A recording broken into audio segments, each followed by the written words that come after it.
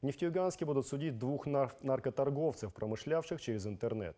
Как сообщает пресс-служба УМВД России по Югре, полицейские направили в суд уголовное дело по незаконному сбыту наркотиков. По версии следствия, двое жителей Нефтеюганска с помощью интернет-сервиса получали информацию о месте, где находится партия наркотиков. Забирали ее, фасовали на мелкие партии и прятали в тайниках. Информацию о так называемых закладках покупатели передавали также через интернет. Преступную деятельность торговцы вели с февраля по март этого года. Закладчики сейчас находятся под стражей и ждут решения суда.